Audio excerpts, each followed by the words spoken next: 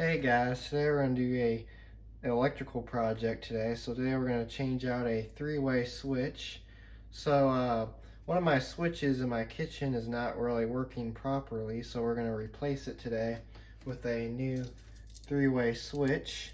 So this is the switch that doesn't work. So of course, of course how a three-way switch works is you're supposed to be able to control it at the other side and then you're also supposed to be able to control it over here but the one that you control it for over here doesn't work.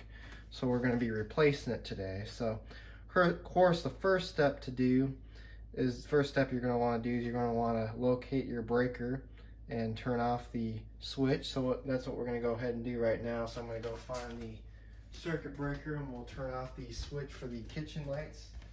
And then we'll check it with my voltage beeper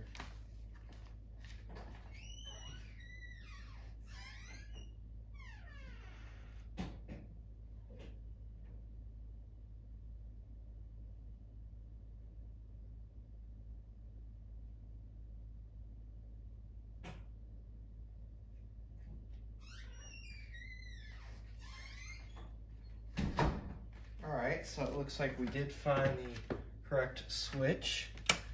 So now the power has been turned off.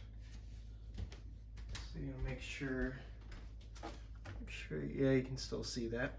So now what we'll do is we will change the switch out. Of course, it is a little dark. Um, I'm going to grab a little bit of a flashlight so you can see that a little bit better.